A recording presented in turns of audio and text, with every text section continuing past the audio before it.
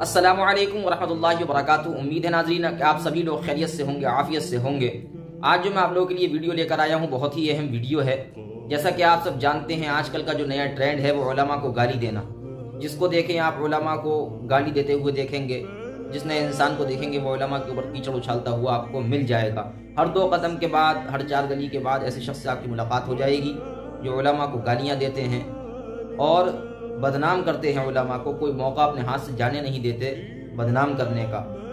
اور یہ جو کام مین ہے، وہ ان لوگوں کا ہے جو خود عالم نہیں ہیں اور مذہبی چینل کے نام پر نفرت پھیلا رہے ہیں۔ پوری دنیا کے اندر، ہر مسلمان کے دل کے اندر نفرت پیدا کر رہے ہیں علماء کے خلاف۔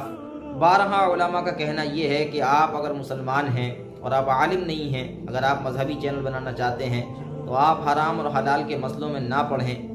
مگر وہ مانتے نہیں ہیں، باز نہیں آتے ہیں، اس کے باوجود حرام اور حلال کے مسئلوں کے اندر پڑھتے ہیں۔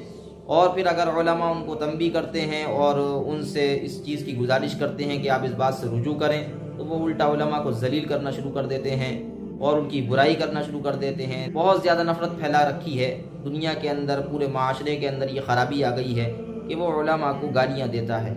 اللہ کے نبی کی حدیث ہے کہ علماء نبیوں کے وارث ہیں۔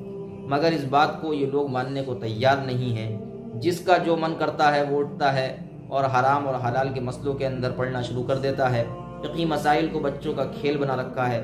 جو اٹھے، جہاں سے اٹھے، وہ مسئلہ اور فتوہ دینا شروع کر دیتا ہے۔ اللہ تعالی ہم سب کی حفاظت فرمائے۔ اگر آپ کو یہ ویڈیو پسند آئی ہے تو ویڈیو کو آگے شیئر کر دیں، لائک کر دیں اور کمنٹ کر دیں۔ انشاءاللہ تعالی ملتے ہیں جلد ہی اگلی ویڈیو میں۔ جب تک کے لیے السلام علیکم ورحمۃ اللہ وبرکاتہ۔